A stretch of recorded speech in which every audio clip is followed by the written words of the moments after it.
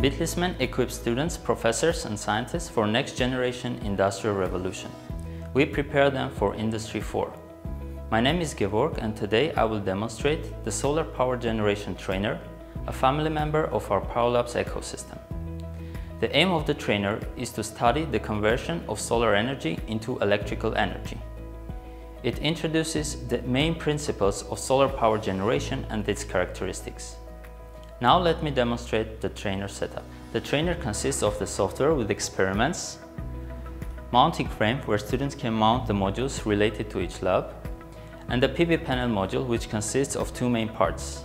The sun simulator with regulated daytime trajectory and year-time trajectory and light intensity. The second part is the PV panel itself with the solar irradiation sensor and the solar tracker sensor and DC-DC transformer to connect the PV panel to the grid inverter. Both X and Y angles of the PV panel can be controlled either manually or programmatically. Additionally, it is possible to control it automatically with the solar tracker algorithm. Now let's pass to the demonstration of some functions of the trainer. First let's have a look at the software. It has bunch of experiments. I will choose one of them and run the system. At the beginning, the software requests to implement the required connections on the trainer. As you see, the software has a self-descriptive and user-friendly interface.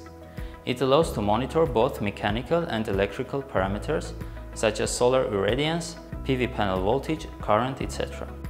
Now let's implement the appropriate connections and run the system.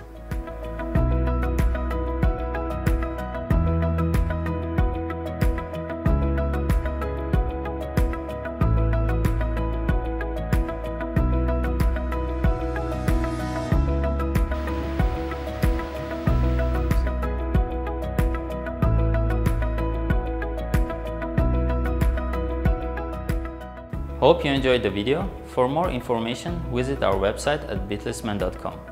Please subscribe to our YouTube channel and check our other products. Thanks for watching.